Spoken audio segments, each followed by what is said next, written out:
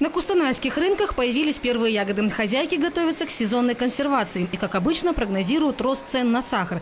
Тем более, признают в городском отделе сельского хозяйства, колебания цены уже фиксировались.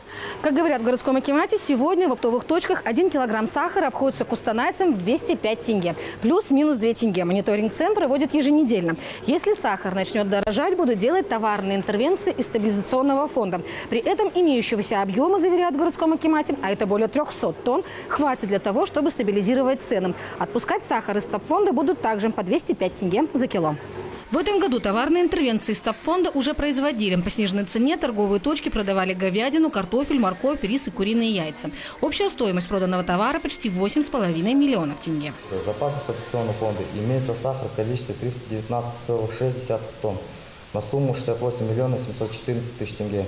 По такой продукции, как картофель, морковь, рис, гречка, масло подсолнечное, молоко, масло сливочное, говядина, мука, яйцо заключены форвардные договора в объеме 4423,60 тонн на общую сумму 65 миллионов 790 тысяч тенге.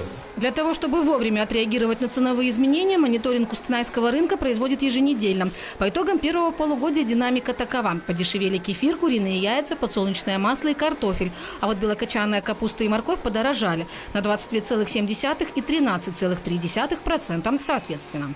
Не, из фонда у вас морковь имелась, но цена э, все равно повысилась на морковь. Ладно, капусту мы стабилизационный фонд не закупаем. Но рост цен это обусловлен тем, что на складах у нас э, закончились, закончились запасы и преобладание новой свежей продукции из юга.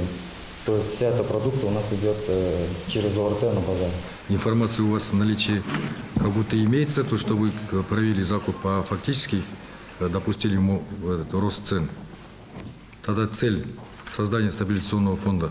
Базл Жакупов поручил проанализировать ситуацию с ценами на овощи и закупать продукты в стабфонд так, чтобы потом не было дефицита. Манарбек Касколов, Дмитрий Гуренко и Ярослава Богатырева. РТН.